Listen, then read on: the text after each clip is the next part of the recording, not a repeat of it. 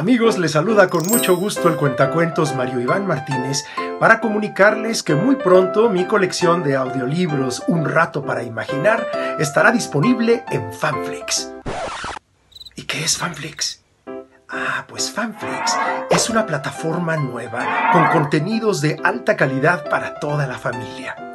Mi colección de audiolibros, Un rato para imaginar, que llega ya a 23 volúmenes, contempla literatura muy diversa, un amplio abanico de posibilidades, de cuentos, de fábulas, de música espléndida, desde leyendas del México antiguo, que me cuentas Don Quijote, Pulgarcito, el soldadito de plomo, la vida de Mozart para niños y por supuesto tres discos dedicados a la obra perenne, maravillosa, de Don Francisco Gabilondo Soler Cricri.